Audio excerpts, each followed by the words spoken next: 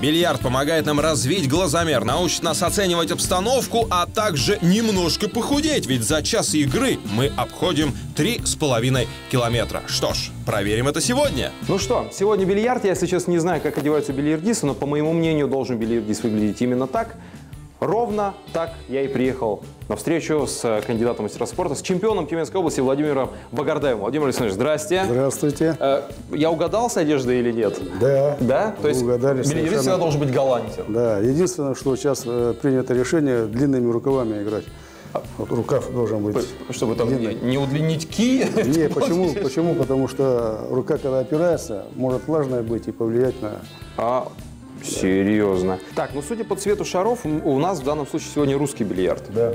Русский бильярд у нас отличается тем, что шары э, все белые, один, э, значит, вот, вот, э, малинового цвета, и лузы у нас уже, чем в американке. Сколько вы играете уже? Ну, я играю, как вы понимаете, кто это 70-е годы, кто жил в сельской местности, там в основном ребятишки играли во что? В футбол, волейбол, в лапту. Приходили в клуб. в каждом- в бильярд, видимо. Да, в каждом клубе стояли маленькие столики бильярдные, железные шарики. Вот с этого и началось. Ну ладно, теория у нас на этом еще не заканчивается, однако предлагаю уже перейти к практике. Поехали. Вот образуется линия. Значит, я должен правильно подойти к этой линии. Это с подхода к стойке. Вот я подхожу, чтобы правая нога у меня была по этой линии. Оставляю левую ногу. Левую ногу оставил на ширину э, это, плеч, плечей. И потом только начинаю принимать вот это положение. Значит, кий должен находиться по этой линии. И левая рука ложится, вот она ложится на эту линию, вот, ложится. И начинается из- это, мост. Вот руку положили, пальцы, пальцы все подтягиваются. Вот этот большой палец указатель прижимается к этому к указательному пальцу. И вот эти пальцы раздвигаются. Вот. Итак, смотрите то, как нужно держать мост, то есть руку на столе, а также их виды. Рука, которая держит кий. Угол в локте 90 градусов. Кистью не зажимаем кий, а держим его большим и указательным пальцем в кольце. И удар происходит. Отлично. Можно, можно даже похлопать.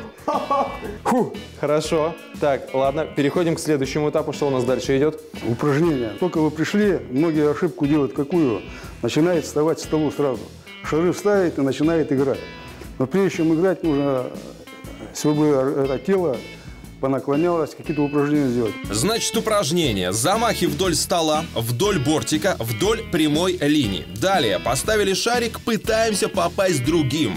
Делаем это не меньше, чем 100 раз. Потом ставим шарики с разных сторон, повторяем то же самое раз 70. Далее отрабатываются свояки. Это самые трудные свояки, шары забивать. То же самое.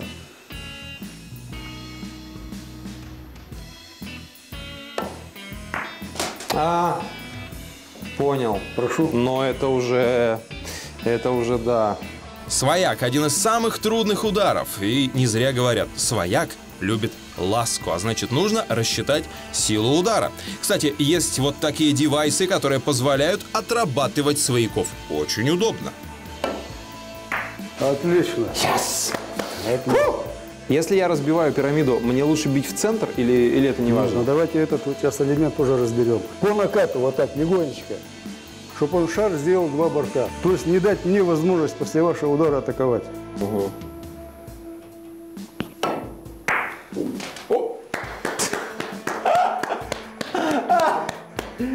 Вот это, вот это удар, это называется уже профессиональный удар. Очень хороший удар. Почему? Потому что у вас сразу, смотрите, атака. Свой, свой. Или вот, эти, вот этим свояка. Здесь вот прямая встала. Понимаете, вы дальше продолжаете игру. Так что запоминайте, если вы в силах разбить пирамиду и сразу разогнать шары по лузам, то вперед. Если нет, просто накатом в грань пирамиды и максимально портим жизнь сопернику. А всевозможные вот то, что вот это вот, подождите, как там, вот это, Это, вот. это вот такой удар называется радикулитный. Это в бильярде так его прозвали. Радикулитный? Это радикулитный удар.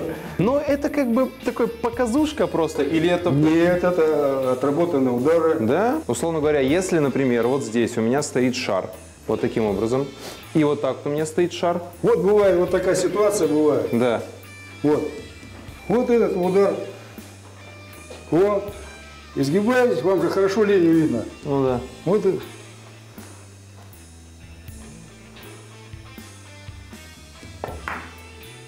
Отлично. Отлично. Я мастер радикулитного, ребят. Если шар стоит далеко, используем вспомогательное оборудование, которое называется машинка, но между спортсменами называется теща. Да, кстати, держать кий как копье тоже можно. Главное поймать баланс, ну и никого не поранить. И это далеко не все, что использует бильярдист. Тут и прибор для зачистки наклейки, и салфетки, мел, держатель, махровая тряпка и, конечно, перчатка. Да, кстати, совет от мастера. Не покупайте дорогой кий, пока не поняли, ваш ли это вид спорта. В районе 5000 будет в самый раз. Бильярд в нашем городе, вот можно сказать, что он вообще прям развит? В настоящее время, значит, бильярд, я считаю, что в Тюмени очень развит. Почему? Потому что официально открылась школа, э, спортивная школа при школе Олимпийского резерва. э, находится легкоатлетическом манеже. Здесь ребятишками занимаются совершенно бесплатно профессиональные тренера.